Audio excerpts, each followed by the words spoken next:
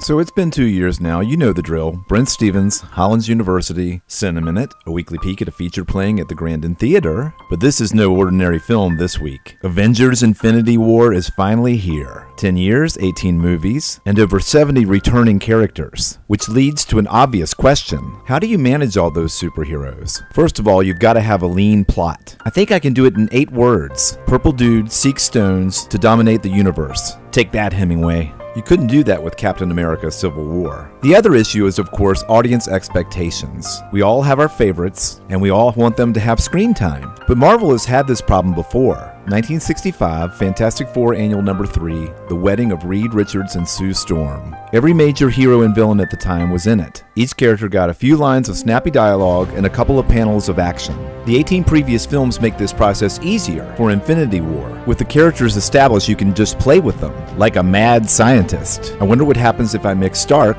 with Star Lord. Let's see. Well, here. Let's talk about this plan of yours. I think it's good, except it sucks. So let me do the plan, and that way it might be really good.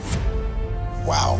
At the premiere of Infinity War, Robert Downey Jr. said, These films are about how the world should be and could be if we fight for it. So strap on your web shooters and make sure you have a clean pair of underoos for the cinematic event of the decade. I'm Brent Stevens, and we'll see you at the Grandin.